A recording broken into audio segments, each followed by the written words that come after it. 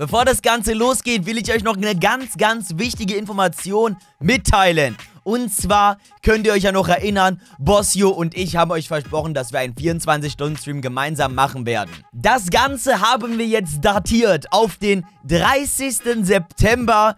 Diesen Monat also um 17 Uhr wird das starten. 24 Stunden mit ihm zusammen. Schreibt es euch in den Kalender. Ich will euch alle dort sehen. Das Ganze auf twitch.tv slash nohandgaming, YouTube YT. Auch Link ist natürlich in der Beschreibung. Ich würde mich über riesiges kommen, freuen. Ich werde jetzt die Tage immer ansagen. Also, mucho grande, importante, Señor Escobar. So, wir haben heute den FIFA 18 Early Access am Start. Ich werde das Spiel jetzt starten und wir werden, ja, da wir nur 10 Stunden Zeit haben, ihr seht schon, weniger als 10 Stunden habe ich noch über. Ich muss hier richtig schön entspannt mit, mit äh, hier starten, ne? Werde ich ein Draft starten und ich glaube, es wird verdammt schwer. Einfach aus dem Grund, weil so gut wie jeder Pro jetzt Foot Draft spielt und ja, wir wahrscheinlich gegen einen absoluten Pro verlieren werden. Nichtsdestotrotz werde ich heute auch natürlich FIFA streamen, auch auf Twitch. Das Ganze wird um 16.30 Uhr beginnen. Link ist in der Beschreibung, dort wo auch der 24er losgeht. Wir haben FIFA Points für die Xbox hier am Start. Da wird gut getradet, da wird Footdraft gespielt, da wird alles möglich gemacht und natürlich vor allem Packs geöffnet. Also schaut vorbei, Links in der Description, 16.30 Uhr. So, let's go, jetzt sind wir hier aber drin und starten unser erstes FIFA 18 Footdraft. Ich habe so Bock. Ich bin so motiviert. Let's fucking go. Es wird so schwer. Ihr seht schon, wir haben ein paar FIFA-Points auf jeden Fall am Start. Wenn wir jetzt eine Ikone Ronaldo oder sowas kriegen würden, das wäre so insane. Oh, oh, oh, oh. Mit was starten wir hier? 4-3-3, 4-5-1. Ich würde sagen, ich würde echt mal mit einem Doppel... Na komm, wir starten, oder? Wir starten mal mit einem Doppelsturm. Wir probieren es heute einfach mal. Und direkt am Anfang eine Ikone. Oh mein Gott, let's go! Ronaldo Icon Draft. So ist das doch der absolute Burner, Robert. Let's fucking go.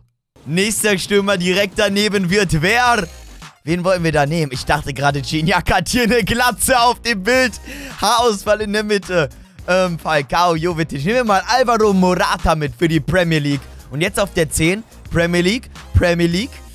Okidoki. Barkley oder Rooney sind beide nicht so die absoluten Banger. Asensio wäre Nehmen wir Asensio mit für den spanischen Link. Sehr gut, I like that. Gehen wir ins Mittelfeld über. Come on, EA Sports, ich will hier einen Hammer-Draft. Ich will hier einen Baba-Draft.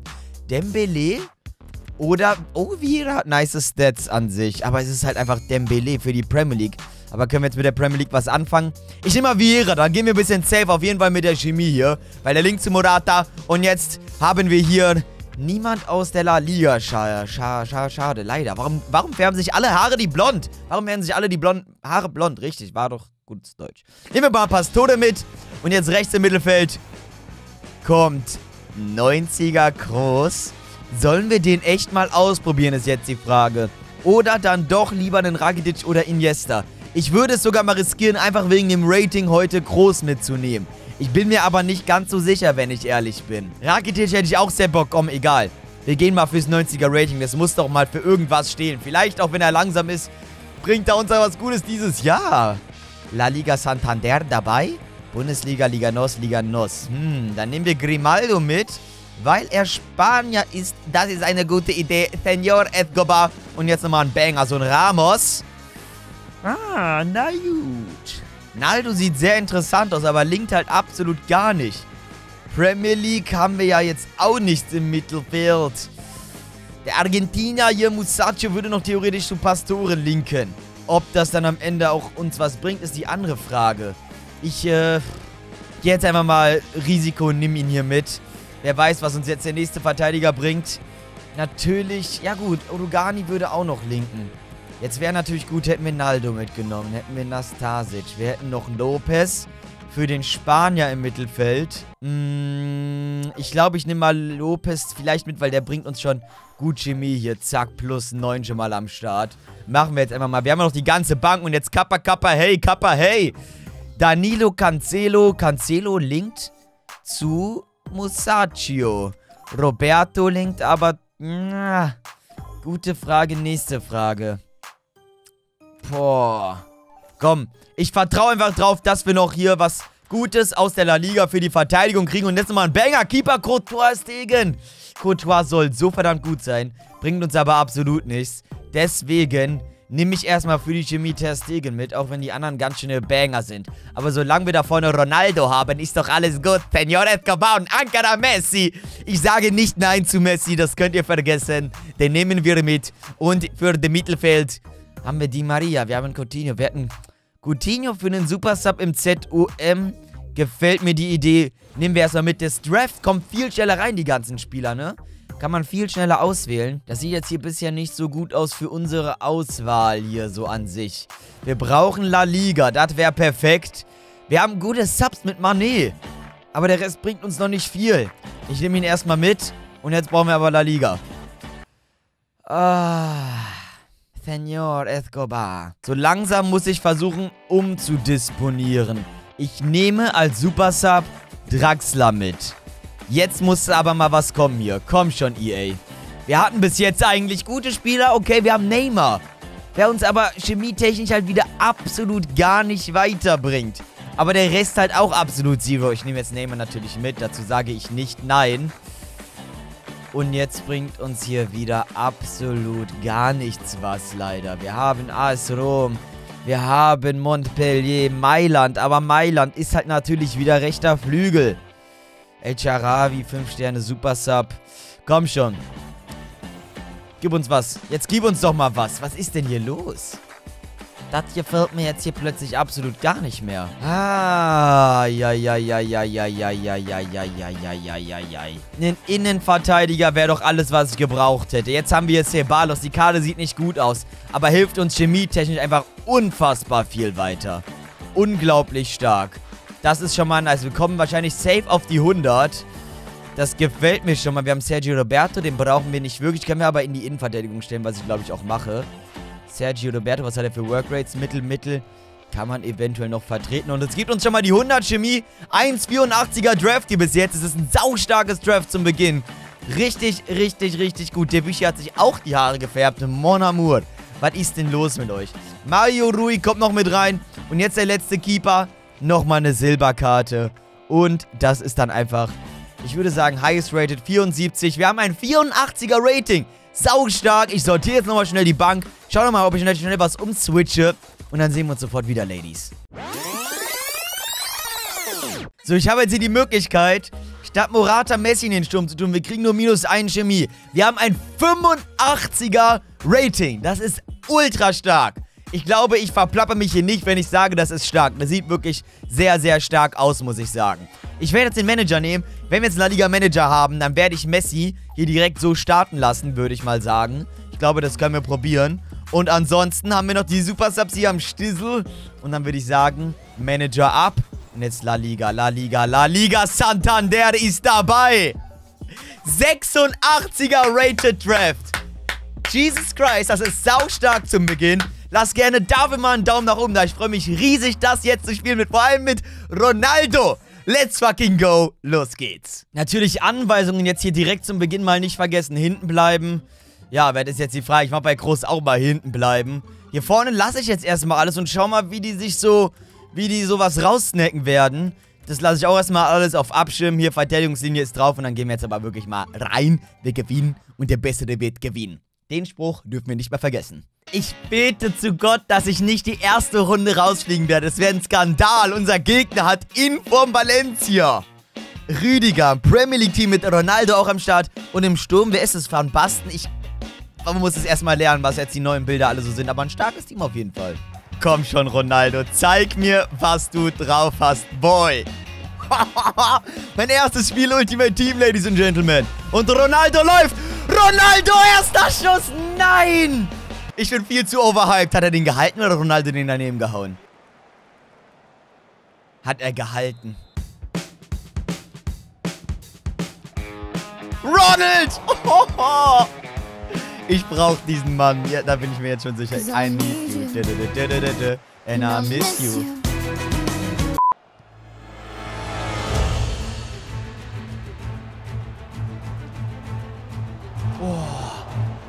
Man kann halt, finde ich, gar nicht einschätzen, bisher so, das wird man wahrscheinlich noch lernen, ob die Bälle reingehen oder nicht.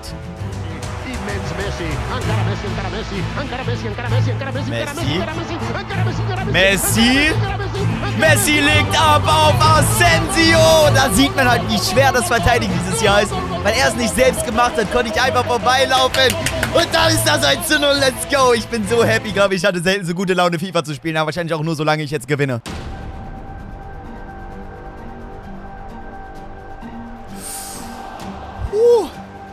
Oh mein Gott, komm, Toni Kroos. Kannst du Freistöße schießen dieses Jahr? Schade, zu wenig Power.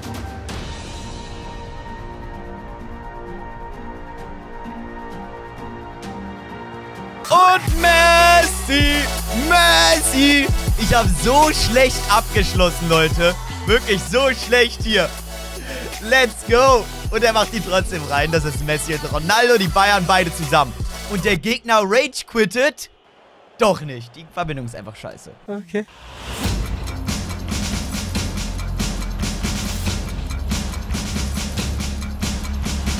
Mal Ronaldo! Golasso! Der Giroud-Trick. Es war, glaube ich, L2 und zweimal nach links mit dem rechten Sticker da den, glaube ich, gemacht. Let's go! Oh oh. Oh oh. Ben. Nein, doch! Was? Wie kam es denn dazu? Ja, wow. Was soll ich denn tun da, wenn er sich so reinstellt? Jetzt versuche ich mal meinen Trick hier anzuwenden. Okay.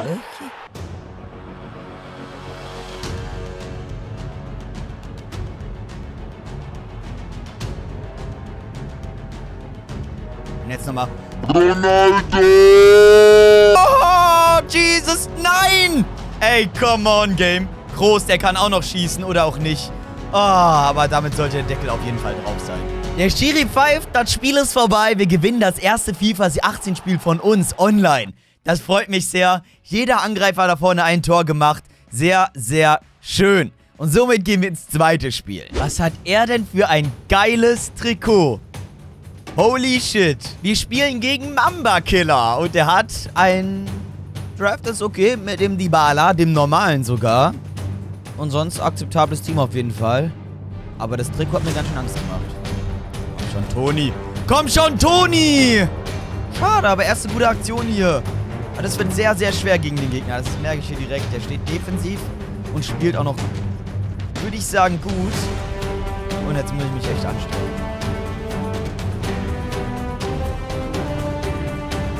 Schon Messi Efe. Schade. Ich mehr rausmachen, Höhlenkugel.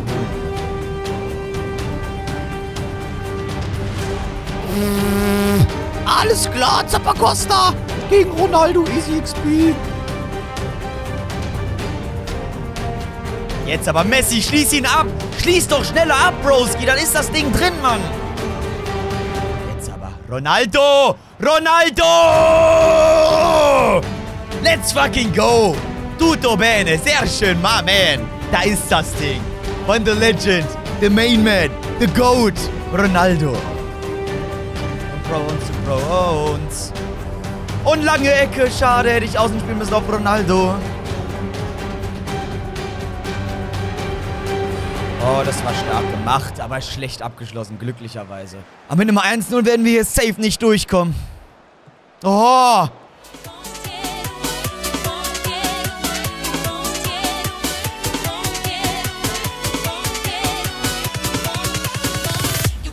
Ronaldo zum 2-0. Zum 2-0. So ist das und nicht anders. Und da macht er ihn wieder. Sehr schön. Come on, Mann. Testing gefällt mir sehr gut bisher, muss ich sagen.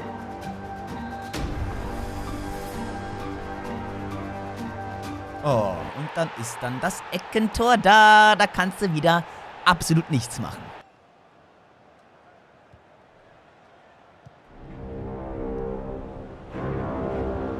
Und es ist wieder, er setzt ihn daneben, aber der Pass kam auch so gut und plötzlich hat sich alles verlangsamt gefühlt. Oh, wow. Noch. Ey, du kannst da nichts machen im, im Strafraum, wenn du irgendwas drückst. Ist ja direkt Elfmeter. Direkt. zweimal angegriffen im Strafraum, zweimal Elfmeter. Was willst du dagegen machen, frage ich mich. Wow. Wirklich einfach nur wow. Wow. Komm, bringen wir noch mal ein bisschen Power jetzt mit Neymar und Messi auf die Zähne. Das ist, das ist echt... Da kannst du ja nichts machen, ey.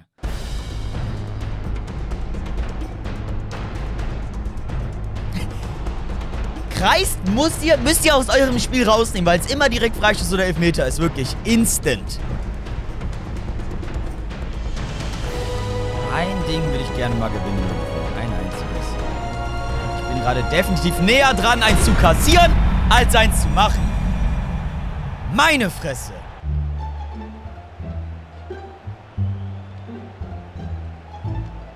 Ja, Ronaldo!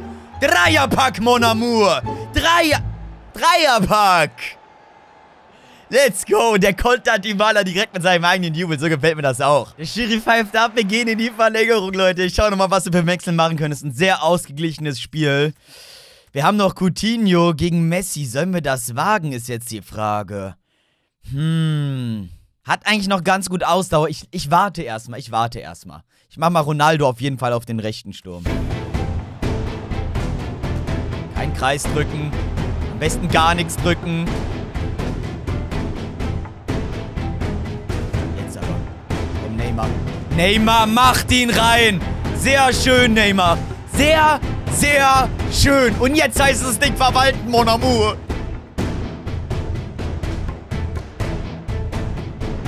Ja, das ist doch unser. Wenn er nicht abvisiert wird vom Spiel, ist das unser. Wow. Game, Game, Game. Spiel. Mach keine Faxen. Dankeschön.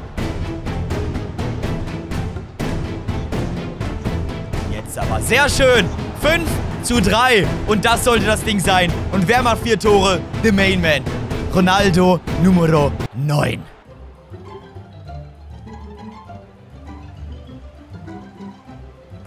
Oh, der ist sogar drin, Alter. Wie dumm war das von mir? Man kann nicht einschätzen, ob der reingeht. Ich dachte, der fliegt daneben. Jetzt kann ich mehr kriegen, Benji. Was ist das für ein Spiel? 4 zu 5, Alter. Neun Tore. Und der Schiri pfeift ab. Das heißt, wir gewinnen noch die zweite Runde. Die war aber schon verschwitzt. Wie sonst was. Jetzt bin ich gespannt. Wenn ich jetzt die dritte Runde holen sollte, dann übersteigt es alle meine Erwartungen. Let's go. Nächste Runde. Und jetzt wird es richtig schwer. Und zwar drei. Drei Ikonen im Foot Draft. Leck mich im Arsch. Let's fucking go. Scheiße. Nichts drücken. Oh.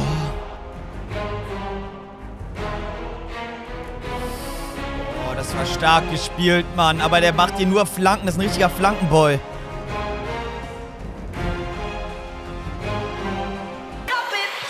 Ja! Oh mein Gott, wie hat er sich denn da reingesnackt? Alter! Ich dachte, der Torwart war easy, cheesy, lemon, squeezy, aber nicht für Ronaldo. Hopp, Schmitz. Hopp, Schmitz. Nice one.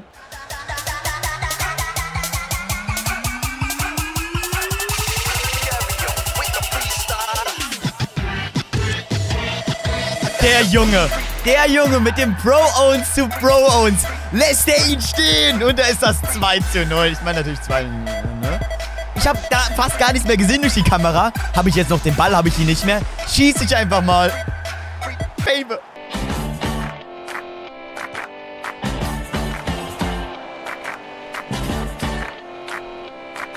Wieso kriege ich die ganze Zeit schon wieder Eckentore? Eckentore oder Elfmetertore? Da man ja nichts von Arnold, dem deutschesten Bundesligaspieler der Geschichte.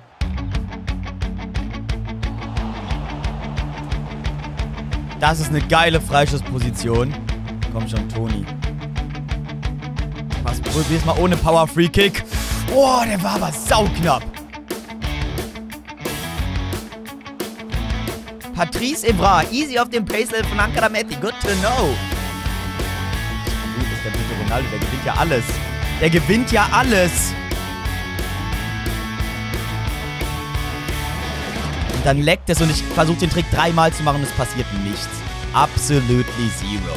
Aber Hauptsache, man muss alles von selbst verteidigen, aber rausrennen, das können sie immer noch von selbst. Aus der Verteidigung, ne? Ja, Wolski. GG EA Sports, wirklich. Absolutes Bullshit-Tor. Rausrennen können sie von selbst, aber den Rest muss man selbst machen, ne? Ja, moin.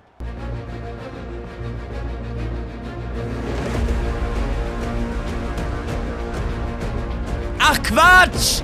Quatsch mit Soße ist das! Das ist Quatsch, ist das! Das ist doch Quatsch, ist das! Okay, hat mich absolut gefickt mit dem Tor, aber ey! Ey! Da wieder nur eine Flanke reingebracht, Alter. Neymar kommt rein und macht direkt das 3 zu 3. Wer wünscht sich das so? Ich wünsche mir das so. Und da gibt es direkt einen neuen Dancy am Start.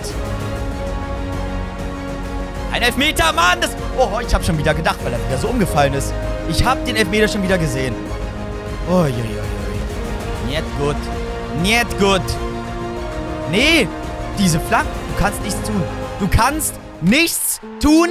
Das ist... Ich rede mich auf, aber da ist niemand. Kein ist in der Mitte. Oh, da werde ich wieder richtig sauer, Mann. Und das Spiel ist natürlich so schlau und gibt dem, der ein weißes Trikot hat, die schwarzen Punkte auf dem Feld. Na klar, na klar!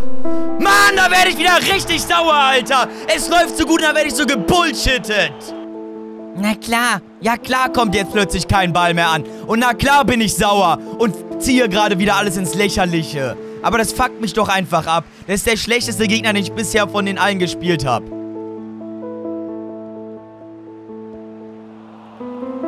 Aber mit Abstand. Und der macht fünf Butzen. Na klar. Ich wollte gar keinen Schuss wegmachen. Ich wollte nur laufen und den Gegner sogar mit meinem eigenen Ball faulen. Das war mein Ziel. Ich hab's geschafft. Let's go. Ist Mission erfüllt, ne? Mission erfüllt. Ich verstehe. Schade, Marmelade. Wir verlieren das Ding meiner Sicht ja etwas unverdient. 5 zu 3. Na klar. Schade auf jeden Fall, ich bin trotzdem weitergekommen, als ich es erwartet hätte, wenn ich ehrlich bin. Aber dieses Spiel war mit dem bisher schlechtesten Gegner meiner Meinung nach. Finde ich doch schon ein bisschen. Äh, ich bin ein bisschen angepisst, wenn ich ehrlich bin, wenn ich dann wieder ein Eckentor kriege. Weißt du, nur Eckentore und, und Elfmeter habe ich gefühlt bekommen. Da fühlst du dich ein kleines bisschen verarscht. Aus...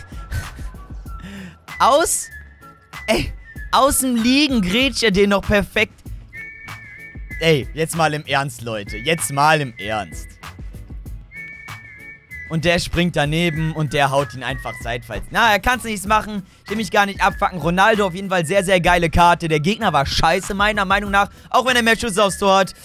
Ihr wisst, dass ich gerade Scheißdreck rede. Ich bin angepisst, aber wir gehen jetzt in die Belohnungen.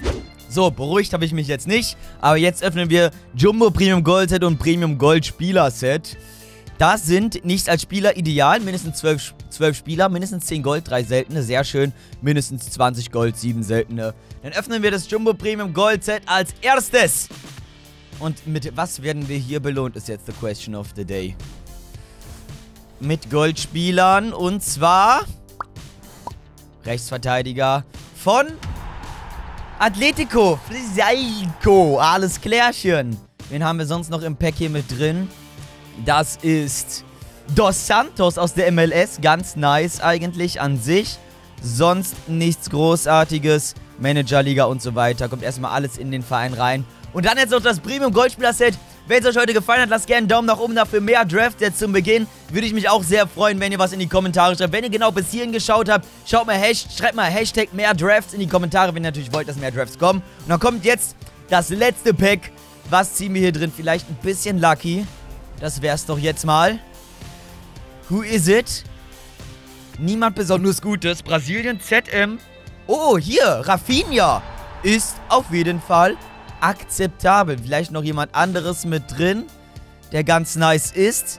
Vallejo. Naja, ist jetzt nicht ganz so nice.